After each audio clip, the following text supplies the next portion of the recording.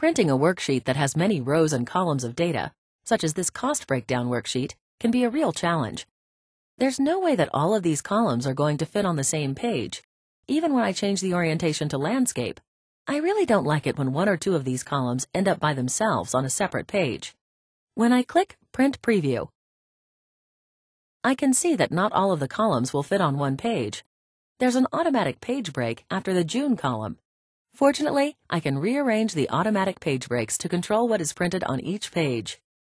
In Normal View, I can only insert, remove, and reset page breaks by using the page break commands.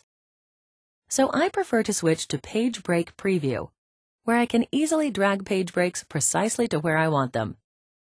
If I want to print the data for each quarter on a separate page, I can simply drag the automatic page break, this dotted line, to another location on the worksheet. But first, I want to make sure that column and row labels are printed on each page, so that I know what I'm looking at. I'll include the first two columns and the top row. Now I'm ready to drag the automatic page breaks.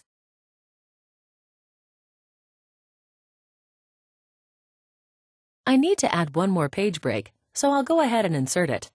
I can do this by selecting the October column and then clicking Breaks in the Page Setup group on the Page Layout tab. However, I can also simply right-click the column heading for October and then click Insert Page Break. A vertical page break is always inserted to the left of the selected column. Notice that all of these manual page breaks are shown as solid lines instead of dotted lines. I can add a horizontal page break exactly the same way, one at a time. Horizontal page breaks are always inserted above the selected row.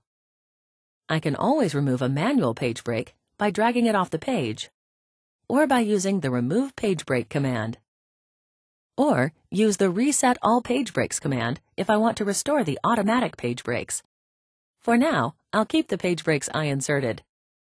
I'm done working with page breaks, so I'll return to normal view. Now here are some things that I learned to watch out for. By default, page breaks are not displayed in normal view. But I can turn them on or off as needed.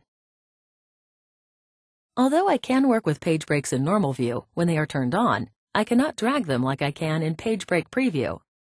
Sometimes I have trouble dragging page breaks in Page Break Preview too. This happens when the drag and drop feature has been turned off. I just need to remember to turn that option on before I work with page breaks. If the manual page breaks do not take effect when I print the worksheet, it's usually because I have also selected the scaling option, Fit to Page. I need to make sure that I select the Adjust To option instead. Finally, to avoid printing more pages than necessary, I can define a print area instead, or in addition to adjusting the page breaks. For more information about this, see the link on the demo page. Adjusting page breaks takes a bit of time, but it's worth the effort once you get the hang of it. The pages look the way I want, and no paper is wasted on unnecessary or blank pages. I definitely feel good about that.